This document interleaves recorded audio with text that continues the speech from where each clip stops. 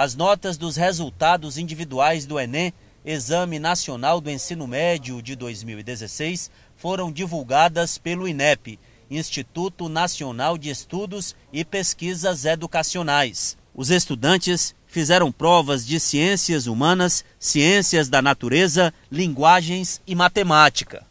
Cada um já pode acessar através da página do MEC, Ministério da Educação. E para quem ainda tem dúvidas sobre como acessar a nota, não é tão difícil assim. Com esse resultado que eles obtiveram hoje, eles vão pesquisar no site do SISU, de preferência, as instituições que, de todo o Brasil e ver qual é a nota de corte. Pela base que ele vai ter da sua nota, ele vai ver agora qual foi a nota de corte do ano passado, que vai ser mais ou menos a nota de corte para esse ano. Hum. Não é isso? Para eles ver qual é a possibilidade que eles têm diante dos cursos que eles desejam fazer. As provas do Enem foram realizadas em outubro e dezembro do ano passado.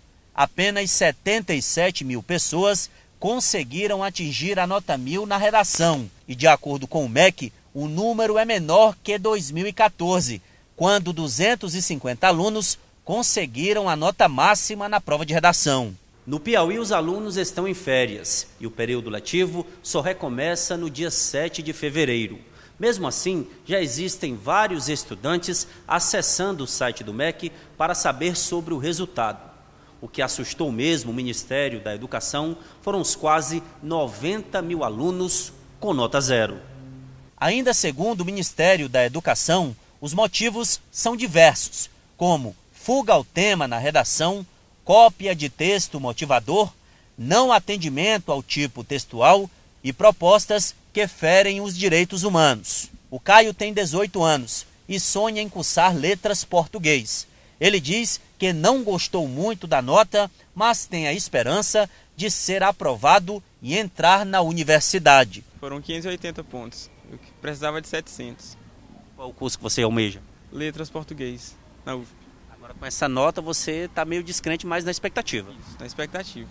Qual o ideal para que você fosse aprovado?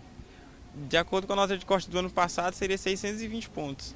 Abre as inscrições dia 23 e aí a partir desse dia que a gente vai ficar tentando aí fazer a, a inscrição.